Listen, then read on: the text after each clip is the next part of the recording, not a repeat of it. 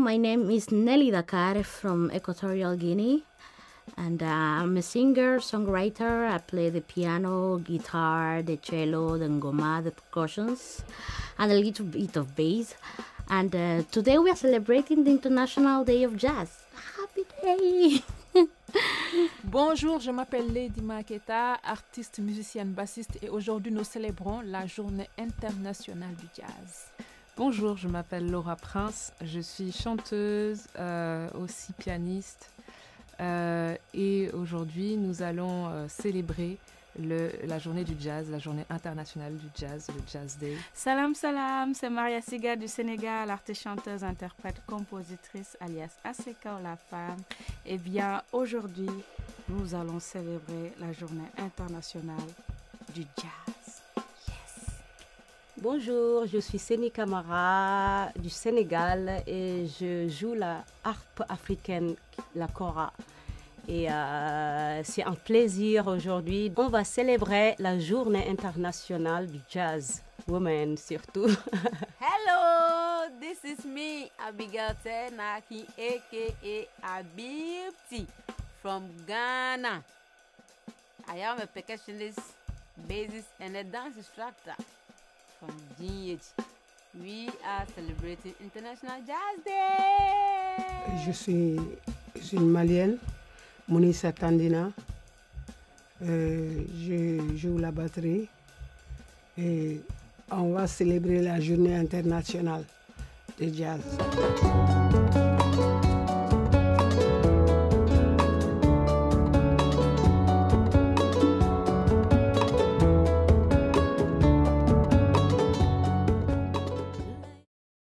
Ladies and gentlemen, colleagues and friends, for 11 years now, UNESCO has been celebrating International Jazz Day on the 30th of April in partnership with the Herbie Hancock Institute for Jazz.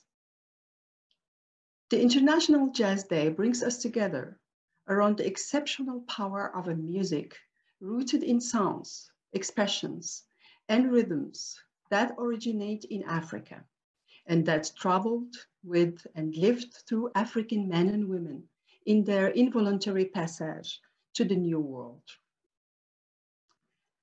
Through all its various development stages, women have strongly shaped jazz as singers, instrument players, songwriters, and as composers. Through all periods, however, and until today, women have had to struggle for recognition, visibility, and material sustainability in an industry which perpetuates and sometimes magnifies gender inequalities and stereotypes as they exist across societies. Few female jazz performers make it to a recognized position among male peers and in the eyes of public audiences, journalists, and producers, often ready to sexualize their appearances, debate about their outfit or appeal rather than their performance. Currently, less than a third of jazz albums feature women musicians. Women performers and instrumentalists are usually a minority in jazz festivals and on the stages of famous jazz clubs. Conscious that this situation is even more dramatic for African women jazz musicians and improvised music performers, we created at UNESCO last year a space for jazz women from Africa in the celebrations of International Jazz Day. And I'm very pleased to introduce you today to the second edition of this initiative, Jazz Women from Africa, which, like last year, provides a global platform to give visibility to the diverse talents of African women in the jazz and improvised music industry. A concert by a female band of seven jazz women from across Africa will be broadcast. But first, we want to hear from African women musicians and producers about their reality and what we can all do to pave a new road to real change for equality between men and women in jazz. Jazz music, in particular, breaks down stereotypes and prejudices to unite people around the act of creation and equal opportunities. It reflects what is stated in the Universal Declaration of Human Rights namely, that everyone has the right freely to participate in the cultural life. Music is universal language, and jazz is a particularly expressive form of it, in which the voices representing half of humanity shall not go unheard. The idea to shine the light brightly on women jazz musicians from Africa was developed and began through a beautiful partnership created in 2021 with Anya Music. I would like to warmly thank our partner, Anya Music, the artistic director and producer of our events featuring African jazz women. I thank in particular its founder and director, Brahim El Mesnet. Cher Brahim, mille merci pour cette belle et importante collaboration. Mes sincères félicitations et remerciements aux musiciennes qui nous donneront un beau concert tout à l'heure. My warm thanks to the Canadian Commission for UNESCO for their kind financial support. I would also like to thank Karen El Kaim for the moderation of the debate and the European Broadcasting Union and its members in Africa and beyond for broadcasting these events to be enjoyed by persons around the world. Enjoy International Jazz Day, everybody.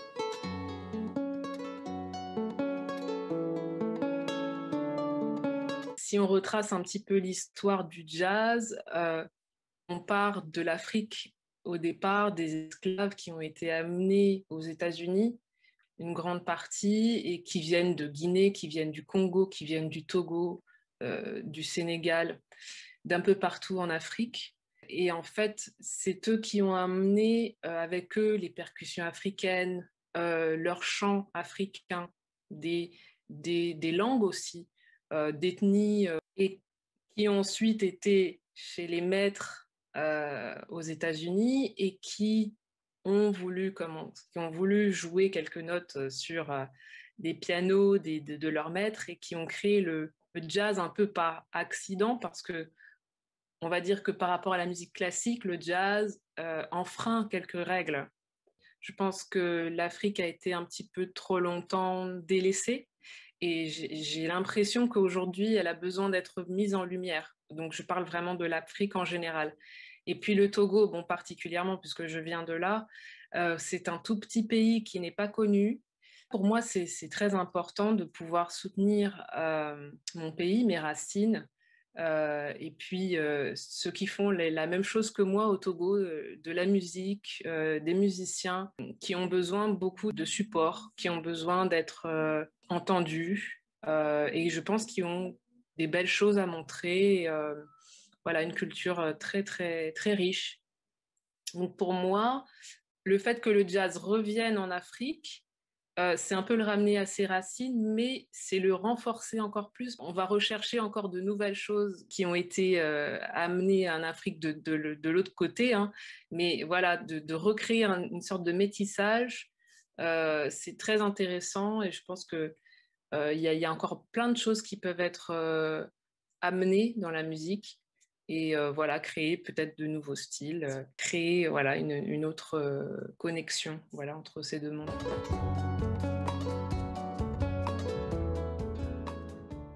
La musique jazz c'était pas euh, je me voyais pas dès le début de ma carrière en train de jouer du jazz. Je crois que ça m'a rattrapé en plein chemin. Euh, j'ai découvert, j'ai découvert ce style musical. Je dirais techniquement, je l'ai découvert il y a trois ans. Euh, parce que c'est un, ami batteur qui s'appelle Paplaïdjan qui, qui m'a suggéré de, qui aime beaucoup jouer de la variété et tout ça. C'est lui qui m'a suggéré d'essayer, de m'essayer dans ce genre musical là qui est le jazz. Et au début, j'étais réticente parce que le jazz, c'est une musique, aussi libre soit-elle, c'est une musique euh, qui, qui, qui, a certaines, qui demande un certain niveau technique. Et je ne savais pas si j'avais les épaules pour, euh, pour, pour, jouer ce, pour jouer cette musique-là qui est le jazz. Mais je ne sais pas, euh, je me suis familiarisée euh, à ce style dès le premier jour où j'ai essayé d'en jouer. Et c'était une super expérience. Et j'ai découvert que ma vocation musicale, que ma voix sur le plan musical se trouve dans, cette, dans, dans le jazz. Voilà, et je ne le regrette pas. Et j'essaie de mettre tout le temps du jazz dans tout ce que je fais. Parce que mettre du jazz dans une musique, c'est comme mettre de la liberté dans une musique. Et c'est super important. Bon, ici, nous n'avons pas vraiment beaucoup de, beaucoup de femmes, effectivement, qui, qui, jouent, qui jouent des instruments. On n'en a pas beaucoup. Moi, je fais partie juste des premières, mais même si c'est vrai que le nombre augmente lentement, mais quand même, nous n'avons pas, ici au Sénégal, nous n'avons pas, par exemple, la culture de, porter l'instrument. Déjà, déjà, ici au Sénégal, il y a plus de chanteurs que d'instrumentistes, déjà, en général. Il y a plus de chanteurs que d'instrumentistes. Euh, et c'est compliqué parce que ce sont plus les instruments qui sont les instrumentistes qui, qui, qui, qui, qui, qui, qui jonglent d'artiste en artiste.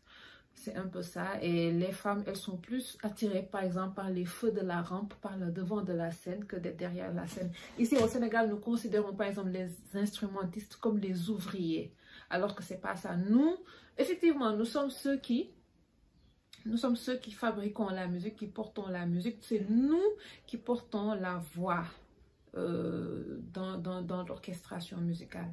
Même si ça nous, euh, même si il, nous faudra faire preuve d'abnégation sur le plan de l'image, ça c'est un, un sacrifice que nous, on a accepté, c'est un poids qu'on a accepté de porter.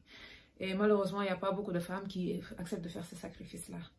Et bon, il faut juste montrer, que, euh, montrer à ces personnes-là que c'est autant, autant il est important d'être devant les projecteurs sur les devants de la scène et tout ça.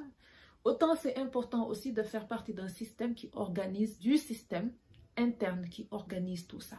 Et moi, c'est ça mon ambition, c'était ça mon ambition quand, j'ai commencé à jouer de la guitare basse, c'était d'être compétente dans ce que je fais et voilà, il faut juste communiquer sur la compétence. Et ça, peut-être ça va aider d'autres femmes à vouloir être compétentes, alors à s'essayer dans des instruments.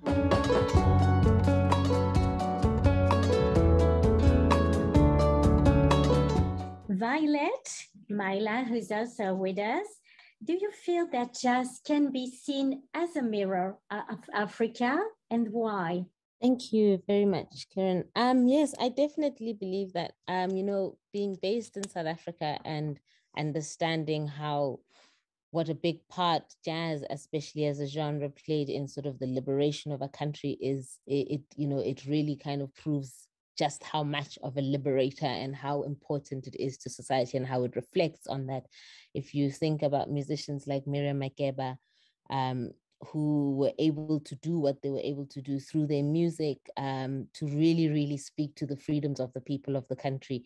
Um, it really, really speaks to that. I think also um, to see how jazz in South Africa in particular has evolved over time um, and to see the kind of influence that that jazz musicians now are kind of sitting in a different point of expression. I think some of the best jazz especially female musicians in the world are, uh, you know, I can quite um, selfishly say I think are based in South Africa. We have amazing young talent like Zoe Mudicha and Tandin Duli who have also just kind of spread their wings to try and speak the truth of the youth across the world. Um, for example, I know Zoe Mudicha will be at the North Sea Jazz Festival, for example, and that's, you know, that's really quite important platforms. And for them, for those artists to have the space to express, um, to really just kind of speak to what's going on. It's a very different genre versus sort of popular music in terms of how that expression exists or how it's presented,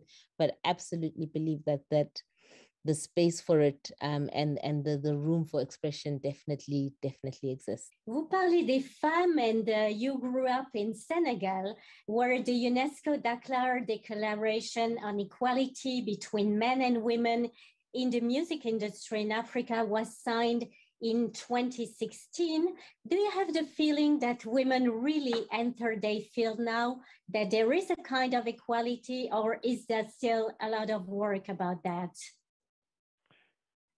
C'est vrai qu'on continue à travailler en ça, mais je vais vous dire une chose, l'égalité, mais surtout le secteur de la musique, quand on fait bien les statistiques, au Sénégal, il y a plus de femmes musiciennes que d'hommes. Il y a plus de femmes, quand on calcule bien, il y a plus de femmes impliquées dans la musique que d'hommes. Donc aujourd'hui, c'est un travail qui continue à se faire pour qu'on les reconnaisse, pour qu'on les connaisse mieux pour moi, au niveau qualitatif, elles sont aussi talentueuses que les hommes. Donc pour moi, c'est un combat, bien sûr. Il faut leur redonner leur place parce qu'elles ont cette capacité-là. Et de plus en plus, on voit des femmes qui s'intéressent justement à cette musique, au jazz, même s'il y en a qui font aussi d'autres choses. Mais quand on les emmène sur le jazz, que ce soit au niveau de l'instrument, elles ont totalement leur place. Et justement, à Dakar, euh, cette déclaration justement sur l'égalité entre l'homme et la femme dans les secteurs de la culture est quelque chose qu'on vit vraiment et qu'on vit vraiment. Quitte à voir bientôt, ça va être s'inverser parce que elles sont plus nombreuses et elles sont talentueuses. Vous parliez justement des femmes percussionnistes. Pourquoi c'est important aussi de leur accorder des formations, d'aller vraiment spécialement former les femmes à ces instruments-là? Ben, Je pense que c'est important de former les femmes, les percussionnistes, mais comme dans tous les autres instruments. Ici, je me trouve, par exemple, je, vous parle de Louga, qui est la ville de la percussion au Sénégal, et où il y a toute une école où les femmes apprennent de la percussion. Aujourd'hui, dans certains pays africains, c'est interdit pour des femmes de battre du tam-tam. On a vu ça. On le sait, mais parce que le tam-tam a aussi une histoire, mais dans beaucoup de pays au Sénégal, on a les rosettes, les filles de Doudou Rose, notre maestro qui est aujourd'hui euh, parti, qui battaient du tam-tam. Donc les écoles de formation sont importantes aujourd'hui, et aujourd'hui on a de plus en plus de jeunes femmes qui jouent au tam-tam. On les retrouve notamment dans cet orchestre qu'on appelle les Digani aujourd'hui, où on a des femmes, que des femmes instrumentistes, et il y en a une qui excelle justement avec son tambour au milieu de ce, de ce groupe. Donc la formation aujourd'hui à tous les niveaux est importante, que ce soit de la guitare, de la... Bon, on n'a pas beaucoup de ventistes encore, c'est dommage, mais au niveau du clavier, on commence à les découvrir parce qu'elles sortent des écoles. Au niveau de, de la percussion, de la guitare, on commence à les voir. Elles fréquentent les écoles. Et surtout dans la percussion, beaucoup dans la percussion, c'est inné, ça vient des familles. Donc c'est beaucoup plus facile, mais il y a des écoles aujourd'hui et c'est quelque chose de très important.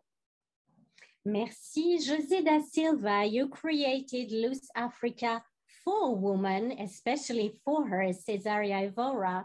Uh, why at Sunny Music do you still try to pay attention to women, whether it's women as artists or women as musicians? Euh, je disais que, surtout nous ici au Cap-Vert, euh, la femme a pris le pouvoir, on va dire, dans la musique, parce que pendant des années, la femme était pratiquement interdite euh, de faire de la musique, ou en tout cas, c'était mal vu. Et depuis les années 80, avec le succès de Césaria, ça a tout changé. les parents qui retenaient leurs filles pour qu'elles n'aillent pas faire de la musique, aujourd'hui, au contraire, sont en train d'influencer leurs enfants pour qu'ils fassent de la musique. Donc, euh, je pense que l'avenir musical juif capverdienne va être très féminine, en tout cas. Merci pour cette bonne nouvelle. Uh, Josiane Matenet, Josie was just speaking about girls that couldn't for years be playing music. And lots of girls we see at UNESCO also, they dream to become scientists or musicians and artists, but they don't dare doing it or the country they are living to is problematic. How would you say that we can encourage them to make this dream come true? Euh, il peut y avoir plusieurs façons pour l'UNESCO de pouvoir encourager euh, le développement du jazz euh, en Afrique, euh, particulièrement au Gabon. Si, si je veux rester dans le contexte dans lequel nous sommes, c'est euh, comme le font par exemple d'autres euh, initiatives, les prix découvertes RFI par exemple, on peut mettre en place des prix comme ça spécialement pour le jazz euh, au niveau de l'Afrique. Et non seulement ça va pouvoir encourager d'autres personnes à s'intéresser à cette musique, d'abord pour ce prix, et pourquoi pas finalement pouvoir susciter des vocations chez nos enfants, chez nos jeunes, mais aussi faut, on peut mettre en place des subventions pour encourager la formation parce que c'est très important tout ça. Mais euh, la base de toutes ces choses, si on a parlé des césariens, c'est parce que derrière, ils ont eu des, des, formations, ils ont eu des encadrements et aussi, ils ont eu des tournées. Donc, euh, l'UNESCO peut aussi euh, subventionner ces tournées-là pour faire connaître le jazz à travers l'Afrique, à travers le monde. Et le, dernier élément important, c'est oui, les jeunes créent dans des quartiers, les femmes créent dans leur pays. Si on peut mettre en place des systèmes, des mécanismes leur permettant de pouvoir se faire connaître à travers le monde, à travers des festivals qui sont déjà, qui sont déjà sur pied, mais pourquoi pas en créer aussi dans les pays où ces, ces, ces événements ne sont pas encore très développés. Je pense surtout au Gabon. je, me je sais qu'au Gabon, on a nos aînés qui font du jazz, Frédéric Gassita, Papa Kenenge, Annie Flore, Nanette, Pamela Badjogo, mais on n'a pas, par exemple, un événement dédié. C'est vrai que Frédéric Par exemple, dans son domaine, il essaye de faire avec ses propres moyens, mais si on a quelque chose de global qui peut, qui peut permettre à d'autres de pouvoir non seulement être en contact avec ces aînés qui ont déjà l'expérience et aussi, pourquoi pas, rêver de pouvoir être, être ces grands de demain. Alors, on va passer à Mélodie Zambuco. Um, you believe that women have a lot of potential in the musical field. Why do you feel that way, whether it's as artists or a manager? And what are still the restraints in Africa for women to go into those fields? Yes, um, I strongly believe that uh, women have great potential in the industry as practitioners and as managers. Um, they've proven so in very many ways. Uh, our Zimbabwean industry and, context has shown that um, we, we, cannot talk about the Zimbabwean music industry um, when we talk about musicians, talking about the um, um, we are Stella Chiweshe, who's now based in Germany, um, Rusi Ngube, uh, Chiwonisa Maraire, and then of course you'd speak of other um, male counterparts. You'd find that uh, there's a stereotyping of women in music generally, in the industry generally, and whether you're in management or you're practicing, there's no distinction uh, in terms of the attitudes of people towards what you do. And so um, those um, stereotypes are still there. Fatumata, is it also your feeling? Do you also feel that there are restraints in your country for women, but that the music industry can still create more and more jobs for women? Je vais dire que c'est pas seulement pour euh, la femme, parce que je pense que au Sénégal, entre hommes et femmes, dans la, dans la musique, je pense que si on fait bien les statistiques, euh, je pense qu'il y aura plus de femmes dans l'industrie musicale. Donc, euh, d'habitude, c'était les femmes qui chantaient. Traditionnellement, les femmes, euh, c'était des cantatrices au Sénégal qui avaient droit à la parole pour faire les louanges et autres. Et ça s'est proféré dans ce style et les gens, les femmes ont eu à chanter, à à faire des activités dans la musique. Sauf que peut-être, euh, je vais dire qu'il y a peu d'instrumentistes, ce n'est femmes, et dans l'administration aussi. Et pour dire au niveau des décisions, on a une directrice des arts, donc c'est une femme. Et euh, au niveau du bureau des droits d'auteur, c'est la présidente, c'est une femme. Et donc, sur ce point, je ne pense pas que c'est lié aux gens. Maintenant, je vais, euh, le, le problème qui se pose, ce serait euh, autour du secteur musical où il n'y a pas une hiérarchisation, une catégorisation des métiers et qui impacte aussi bien les femmes que les hommes, donc euh, à pouvoir euh, trouver facilement leur place. Donc, le travail serait d'abord pour moi au niveau du secteur musical en, globalité et après venir sur comment insérer et donner la place à la femme dans, le style, dans, dans ce secteur. Donc, euh, je vois qu'il y a beaucoup d'efforts qui sont en train d'être faits à travers les formations pour donner aux femmes aussi euh, des formations, des capacitations pour, euh, pour diriger soit des entreprises ou bien des organisations culturelles, mais aussi être derrière une, un chanteur ou bien une chanteuse accompagnée en tant qu'instrumentaliste. Il y a aussi du DJing où il y a eu énormément de femmes qui ont suivi les formations. Euh, donc, si, pour résumer, dans, ce secteur pour que ces, ces, femmes puissent trouver leur place, je pense que c'est l'organisation globale du secteur qui, est qui doit être faite et surtout au niveau de, de nos dirigeants, au niveau de l'État, où il faut qu'il y ait les lois qui encadrent euh, ce secteur pour que les, métiers puissent être euh, valorisés. Et à travers la valorisation des métiers, donc on peut voir le potentiel de tout un chacun. Merci à tous pour ces échanges fructueux. Nous allons faire une courte pause dans la conférence pour vous partager le teaser du concert Jazz Women Africa qui sera diffusé sur les réseaux de Anya et le site web de l'UNESCO demain à 21h à l'occasion de la Journée internationale du jazz. Restez avec nous.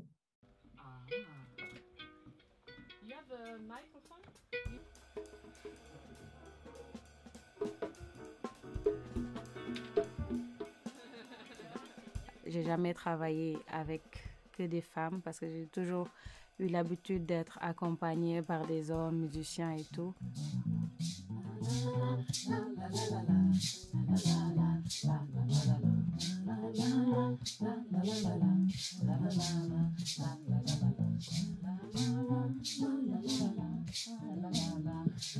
la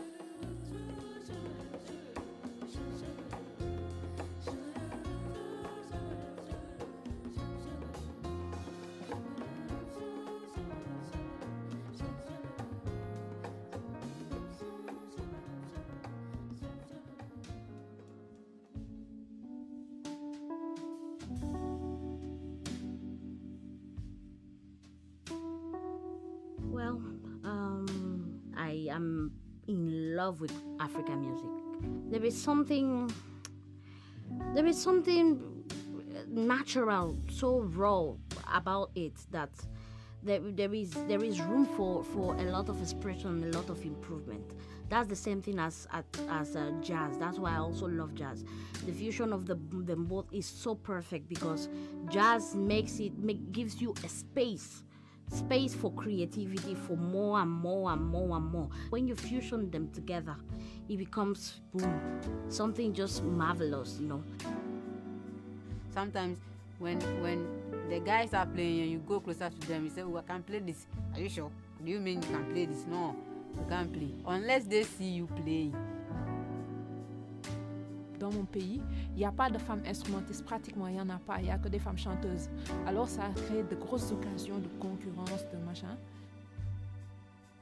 Et il y a des filles qui sont venues un peu partout. Donc on va former un groupe de femmes. Moi, ça m'intéresse beaucoup parce qu'un groupe de femmes, c'était mon rêve. Quel beau projet Nous avons vraiment hâte de regarder le concert de demain. Nous sommes désormais de retour pour la deuxième partie de notre conférence sur le thème Quelle place et quels défis pour les femmes dans le secteur de la musique en Afrique? avec nos panélistes et experts culturels. Uh, look, how can we improve really the representation of women in the music industry and on stage too? Effectivement, il y a beaucoup d'actions à faire pour pouvoir euh, augmenter justement cette présence des femmes dans l'industrie de la musique. Et cela passe déjà par, euh, créer des conditions, parce que beaucoup ont besoin d'apprentissage, de créer des conditions dans les pays euh, pour justement leur permettre d'être en contact avec l'industrie même, avec les instruments. Mal le disait tout à l'heure, beaucoup ne vont pas sur la base parce qu'elles n'ont pas les instruments tout simplement. Mais c'est déjà une action à faire en faveur des établissements qui font de la formation. Je pense que la première action, c'est celle-là, c'est aider ces, ces, établissements, aider toutes ces structures qui vont essayer de monter des programmes de formation en les dotant justement peut-être de capacités dans, pour les enseignants, pour les, les instruments, afin qu'elles puissent venir et surtout mener une campagne. C'est une campagne de sensibilisation en disant que c'est possible, que c'est accessible aussi pour vous. Ça, c'est l'une des choses qui est importante à, mettre en place, intervenir auprès des structures de formation. Et on, a beaucoup de centres culturels régionaux, on a beaucoup de centres culturels privés.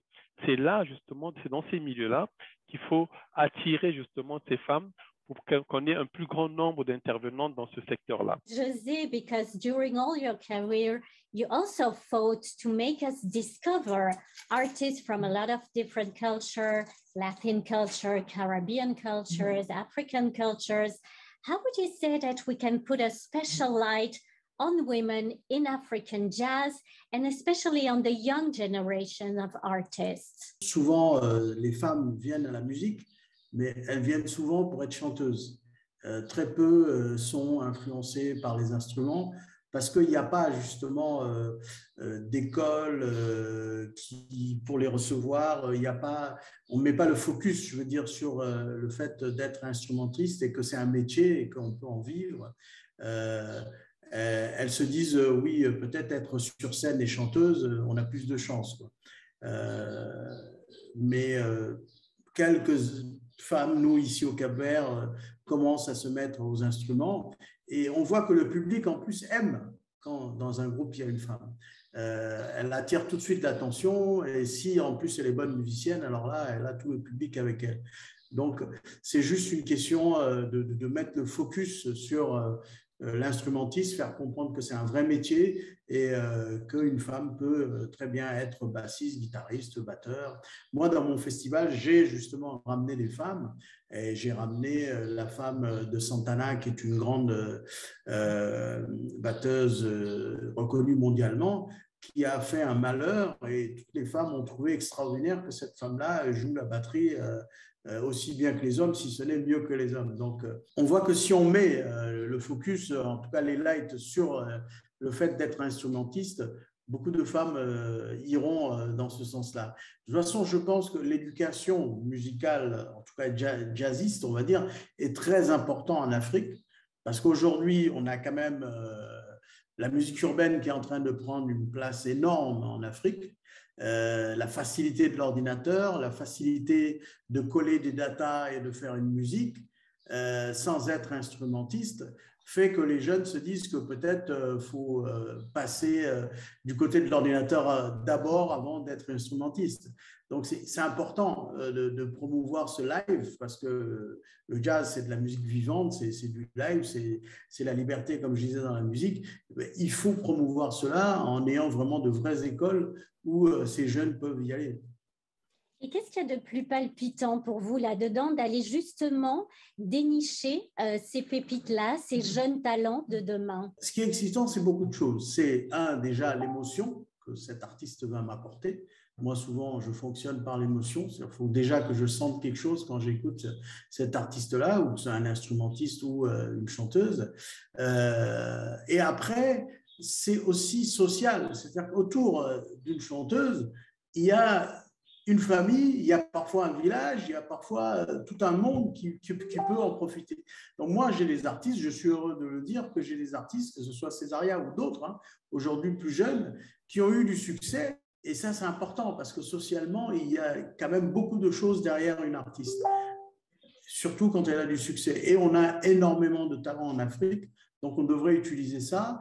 Euh, exporter beaucoup cette culture et euh, ce qui va ramener euh, pour nous, en tout cas en Afrique, une stabilité souvent familiale à travers justement ces artistes. Melody, you were also pointing how much education is really the key element for women to go into jazz, to really see that they can find their road there.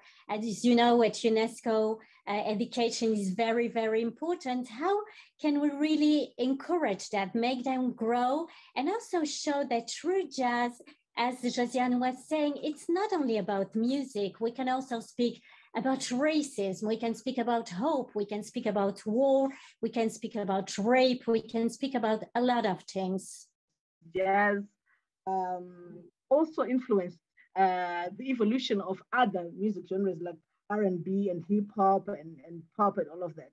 So if looking at all of that, you'd find that it, it should make it easy for the education system to integrate uh, learning of jazz uh, and um, encourage females to participate in the learning of jazz because uh, it, it's relevant in, in, in different dimensions. That, that's my point. And then secondly, um, I think that the first thing that uh, if they are male uh, counterparts in learning, in education, um, should do in order to integrate female participants in, in, in learning jazz, jazz is that the, the male counterparts should um, first and foremost appreciate that there's a discrepancy, there's a difference, there's an imbalance in terms of, I think it's it's like that even in terms of the audience, even in terms of the female, the male uh, musicians practicing. I think the first thing is that uh, there should be an acceptance that there is a huge imbalance. And then when that acceptance happens, then we start to think of what can be done. So um, we could talk of a quota system where we'd say for all festivals, a certain quota of females should participate. And then the strongly, uh, or maybe I would say the privileged female uh, female musicians would argue and say, no, I want to be, um, I want to be engaged for, for the for the for the merits for the merits because I'm good and not because I'm a female. Um, and yet, if that kind of culture is put in place, if that system is put in place, and would look back uh, over a period of five years, would realize that there would be more females participating and would actually discover some talent that we had no idea existed. So I, I'm still for the idea that we could even increase, talk about a quota system in education, a quota system in festivals, a quota system um, that, that could also work. Um, even though I, I, know it's, it's quite uh, disputable Violet, these uh, last two years, there was an unwelcome guest that arrived on the scene, on the world, which is COVID. Why did it have such a big impact on musical projects and on women? And how can we respond today uh, to this challenge with, for instance, Project Life Africa?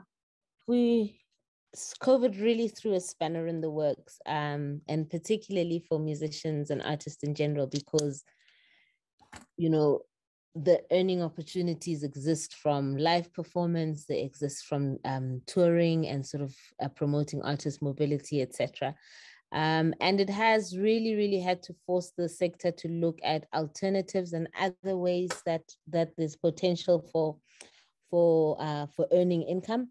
Um, and for example so the music in africa foundation looked at trying to find a way that we can continue to have um, excuse me, have opportunities for artists to earn and started a project called Music in Africa Live. And what that does is it gives a fund out to musicians across the continent to have the ability to showcase digitally. So there is not just specifically showcasing, but or at least showcase for a digital audience. Um, so the opportunity was not just only for for performing, but also understanding that there's other there's other elements um, in the background to to putting on a performance. So it's not just necessarily about live performance but there's also still a lot to learn around certain subjects. And there was even a bigger need for advocating for music. So within that grant there were certain elements where one could apply for capacity building related projects or for projects that speak to advocating for music. Um, another quite interesting project that we have worked with at, we've been working on just in a, way, again as a way that we're forced to respond to covid um, is a project called revenue streams for african musicians which is actually um, funded by the ifcd and unesco within the music in africa foundation. And what that project did was to speak to artists um, really on a one-on-one but you know digitally because we couldn't access musicians and have conversations but through whatsapp calling through internet or video um, interviews spoke to musicians and gathered information to try and understand at this point within the especially now affected by covid how are you earning revenue? What are your other alternatives to make money as a musician and how's that working out? And from that we were able to gather quite a lot of content. We had about over 3,000 respondents across just South Africa. And this is something we're hoping we can continue to raise funds for to really go out into the continent and replicate what we're able to do here. But now what we're able to do is then now we will be able to put together a report that details what all those revenue streams are. So musicians can see that outside of live performance, maybe they can be music educators maybe they can move into music conduction maybe there's you know become conductors maybe there is things around backstage there's artists that are also artist managers so just to really diversify that um, those revenue streams is is is really interesting. And I think we I think there's been a lot that's been learned in the last two years, but there's also quite a lot, you know, because it's so uncertain. We just, you know, we're all still constantly, I think, feeling a little bit like we're living on the edge and don't know when the next potential shutdown of the world will happen again. But at least to kind of have that mulling in people's heads and in, in artists' heads and spaces and just understanding that there's other things to explore. But really always about trying to put the pockets, the money in the pockets of the musicians and artists because the way COVID has, it really has forced everyone to review and see how we operate and do things.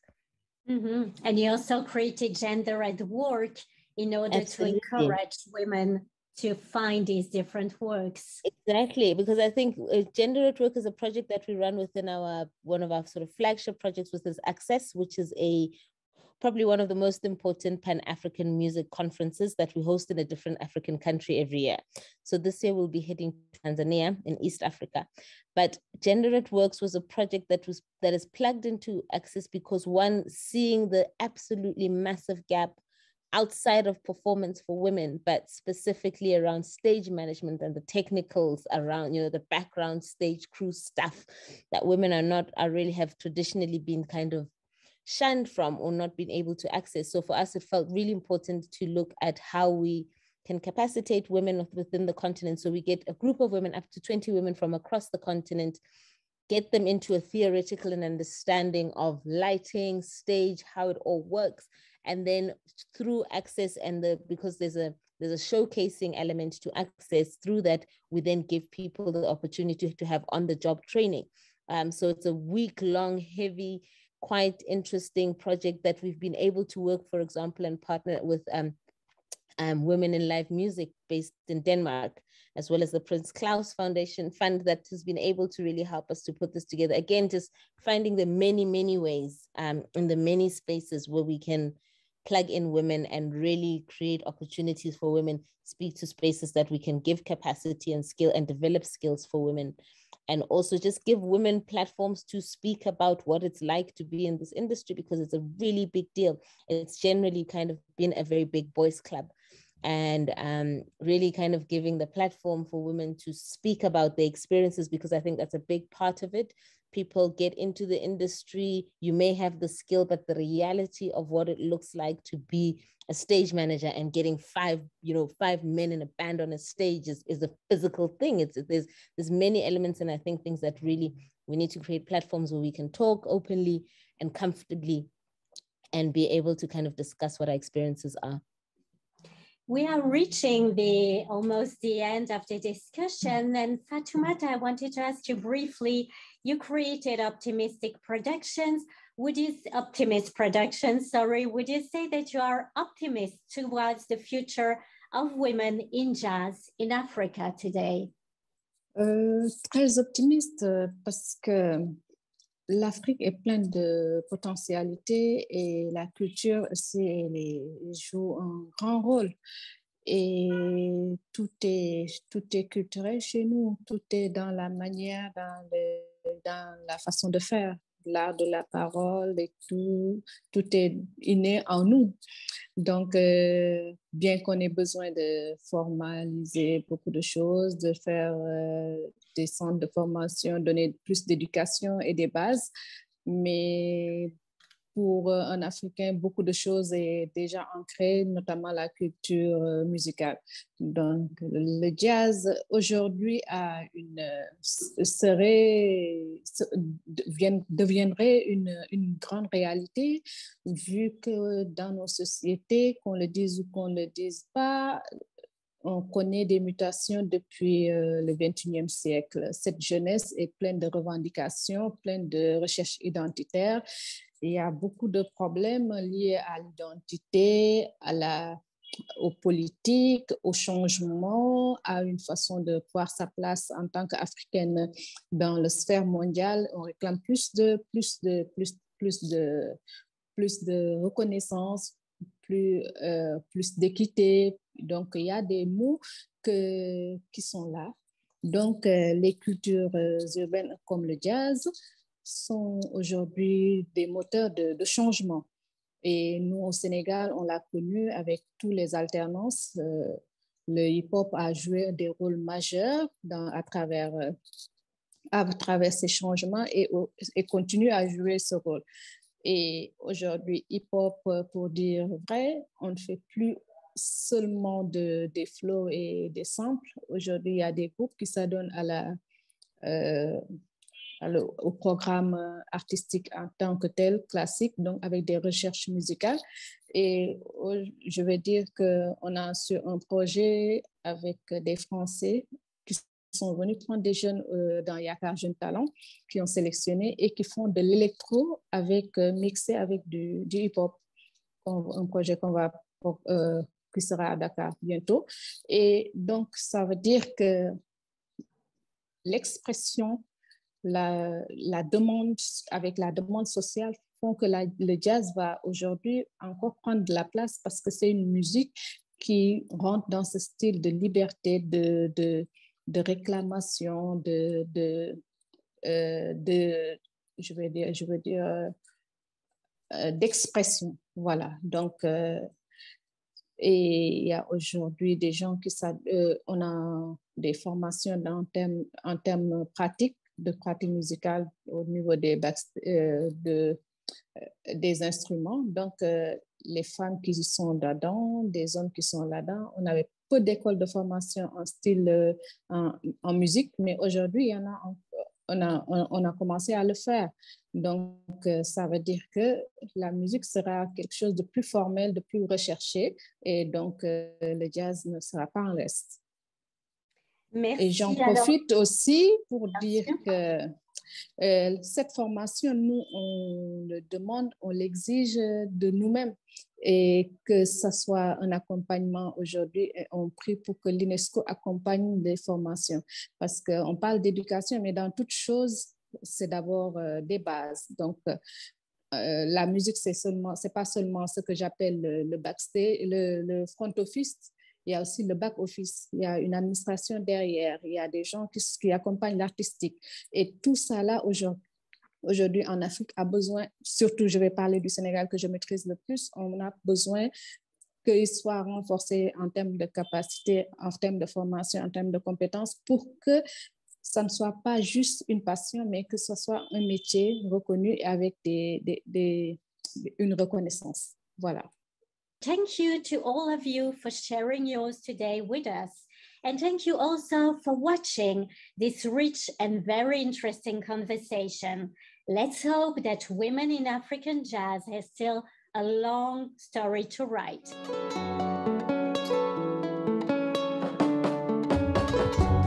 Jazz is more than a genre of music. It is a universal language that uh, embodies the struggles for freedom. People around the world have found through jazz a means of free expression, it promotes social rights and justice. Because of the special role it plays in our societies, jazz has become a symbol of representation and inclusion. Unfortunately, even within uh, the jazz world, not all artists are treated equally. Women continue to be underrepresented in the jazz ecosystem. Only 30% of the top 50 jazz albums in 2019 were women lead. This reflects larger inequalities in the music industry as a whole. Women uh, represent less than one third of artists in the music world today.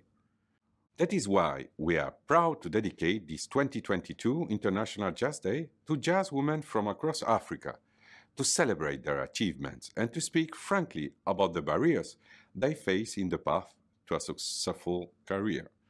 I want to thank all the artists and producers that are participating in this debate. You have clearly expressed that jazz women across Africa need a physical space to learn, to practice, to perform.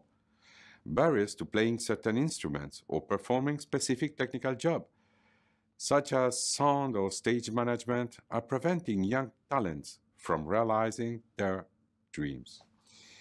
Too few women are in decision making or producer roles that can help open closed doors. We are grateful for all the ideas you shared on how we can work together to improve the life of women musicians and producers across the continent. This list is long, from setting up a Jazz Woman Africa Prize for emerging talents to provide training in certain instruments or in certain business areas. We also heard how important it is to have touring and networking opportunities so that women can fully participate and make a living in the music business. We, we heard how the Music in Africa Foundation benefited from UNESCO's International Fund for Cultural Diversity to create revenues streams for African musicians, for example. This year, we are launching a pilot project in Zimbabwe on building the entrepreneurial competences of women working in the creative industries. We hope that it will inspire a much larger program to be rolled out across Africa in the years to come. Above all, I want to share with all of you the work we are doing to create new laws and policies to regulate the music sector in many African countries and to give artists the professional status required to benefit from social protection and economic measures accorded to other independent workers. We will continue to do more. Last year, UNESCO made several commitments to the UN Generation Equality Agenda and promised to support women artists and those working in creative industries in Africa. We are committed to promoting artistic freedom and to protecting safe spaces for dialogue. Together with you and our global partners, we will take the next step forward at the UNESCO World Conference on Cultural Policies and Sustainable Development, Mondiacult 2022. Mondiacult will result in a new agenda for cultural policy and the social and economic status of artists. UNESCO is committed to ensuring that this new agenda fully embraces our common pursuit for gender equality at all levels of the music ecosystem throughout Africa. Thank you and happy Jazz Day.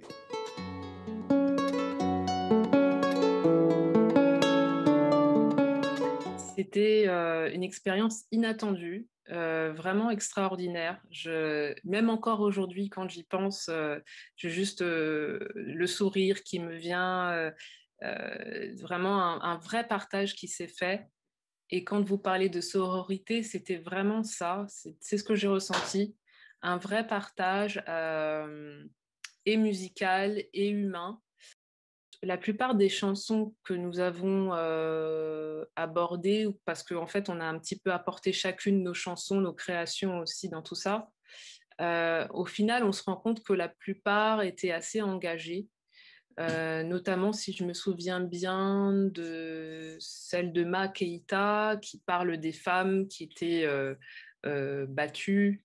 Vraiment, en fait, on retrouvait beaucoup ce sujet et sans s'en rendre compte, euh, c'est effectivement un moyen de peut-être de militer et peut-être dans certains pays plus que d'autres, c'est une arme euh, aussi. Alors une arme pas dans le mauvais sens, mais euh, un moyen de passer des messages importants aussi. Quand on m'a appelé pour, pour, pour faire ce projet de live, j'étais surexcitée, déjà pour deux raisons. Déjà pour jouer du jazz, parce que c'est la première question qu'on m'a posée est-ce que tu joues du jazz? Je dis oui, sans hésiter. Et après, on m'a dit, est-ce que tu es intéressé de, de, jouer euh, dans un projet euh, uniquement constitué de femmes africaines instrumentistes qui, qui, vont s'essayer euh, dans le jazz autant que toi? Moi, j'étais, je me sentais, j'étais au paradis, quoi. J'étais, là, j'ai dit, ouais, non seulement je joue, je vais aller jouer du jazz, mais je vais faire ça avec des femmes. C'était important parce que moi, avant, je jouais, je, m'amusais juste à faire des, des after-work avec, avec, euh, avec mes amis, avec ceux avec lesquels j'ai commencé à apprendre ce genre musical-là. Maintenant, de m'essayer dans ça avec des femmes, c'est, moi, ah, c'était super quoi. C'est une, une belle expérience. Moi je dis encore c'est une des plus belles expériences de ma carrière. Et ça m'a surtout encouragé à accepter et à, à, accepter d'autres collaborations avec dans ce genre musical là comme avec des musiciens d'origine cubaine d'origine finlandaise de, de, de tous les quatre coins du monde quoi alors bon, moi je, dis merci à ce projet de concert live.